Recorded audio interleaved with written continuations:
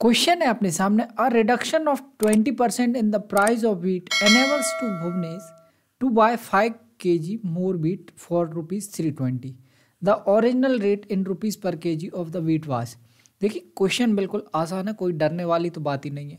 सबसे पहले क्या बोल रहा है? ट्वेंटी परसेंट की कमी हो रही प्राइस में। ट्वेंटी परसेंट की कमी हो रही है इसकी वजह से कितना खरीद पा रहा है वो? पाँच के जी खरीद पा रहा है। एक्स्ट्रा ठीक है ट्वेंटी परसेंट की कमी की वजह से फाइव के जी एक्स्ट्रा खरीद पा रहा है।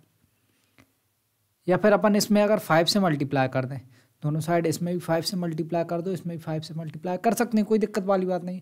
एक इक्वेशन में दोनों साइड मल्टीप्लाई कर सकते हैं। ठीक है तो फाइव में अगर ट्वेंटी का मल्टीप्लाई करेंगे कितना आ जाएगा? हंड्रेड परसेंट हंड्रेड परसेंट में कितने खरीद पा रहा है वो? Five into five twenty five K G तो फ़िलहाल की कंडीशन में वो हंड्रेड परसेंट रुपीज़ में जितने भी हैं, उसमें कितने खरीद पा रहा है? पच्चीस के जी और हंड्रेड परसेंट रुपये हैं कितने? हंड्रेड परसेंट रुपये का मतलब है three twenty rupees hundred percent का मतलब है थ्री ट्वेंटी रुपीज़ तो तीन सौ बीस रुपये में वो अभी की कंडीशन में कितने खरीद पा रहा है? पच्चीस के जी खरीद पा रहा है। तीन सौ बीस रुपये में अभी की कंडीशन में पच्चीस के जी खरीद पा रहा है। तो पहले कितने खरीद रहा होगा? पहले पाँच के जी कम खरीद रहा होगा, क्योंकि अभी पाँच के जी ज़्यादा खरीद रहा है।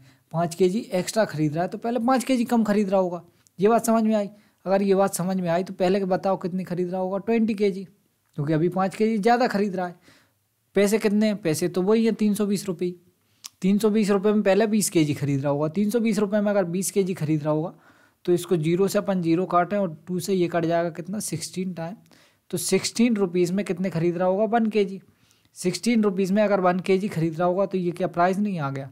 आप बोलोगे सर, बिल्कुल आ गया, सिक्सटीन रुपीज़ पर के जी ये क्या आ गया? Original price. और अपन से ओरिजिनल प्राइस ही पूछा था तो ये क्या हो गया? अपना आंसर हो गया।